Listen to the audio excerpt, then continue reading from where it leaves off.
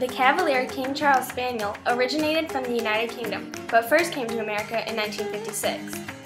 They are classified in the toy group and have been in existence since the 1600s. They are a cross between the Pekingese and the Japanese Chin or the Pomeranian. The Cavalier King Charles came about because this guy, King Charles II, wanted one. Had good reason, right?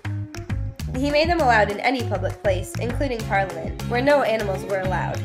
They were seen as a luxury item and were used as a lapdog. They were also used in paintings throughout the 18th century.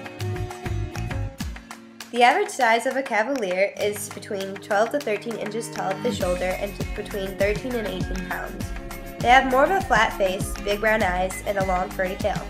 They have a silky coat of a moderate length that is usually straight unless the dog is neutered or spayed before 8 months, in which the coat becomes curly. Fur colors include Blenheim, which is a mix of red and white, black and tan, ruby, and tricolor, a mix of black, white, and tan. They are affectionate, lazy, cuddly, occasionally energetic, love walks, love food, and are obedient. They are also stuck up around other dogs. Males and females are typically the same, except personality wise, girls tend to be a bit more shy when people are around, while males tend to jump up onto you and say hello. Genetic disorders include strokes and syringomyelia, a buildup of fluid around the top of the spinal cord, and hypersensitivity of the neck and shoulders. Treatment for strokes include a shot of mannitol, which reduces brain swelling, or a calcium channel blocker.